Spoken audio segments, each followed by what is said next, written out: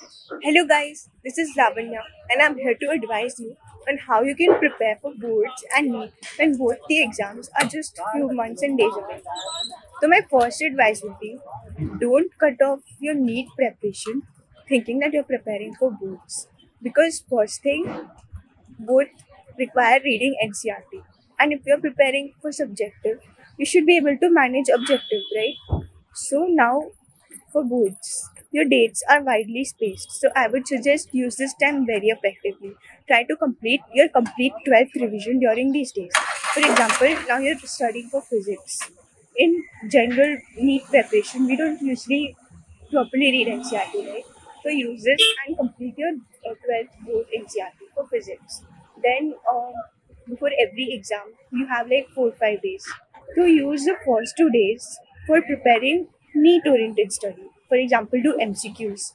Or you could even try doing NEET past year papers so that by the time your boards are over, you will know that these are your weak concepts and these topics from 11th are uh, the topics which require thorough revision after your boards.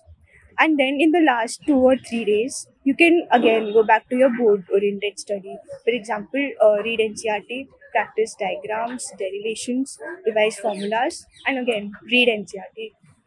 Um, and then for optional subject, you uh, we usually don't give that much time for the optional subject while preparing for PCB, right? So I would suggest right now when you have a few days still left for the board to start, try completing your syllabus of the optional subject so that when the actual exam is there a few days before you're able to revise all the topics once and it's not a first time that you're going through them so in the end i would just say don't take stress try to study NCERT properly and thoroughly. If you're thorough with the subjective part, you will be able to do it objectively.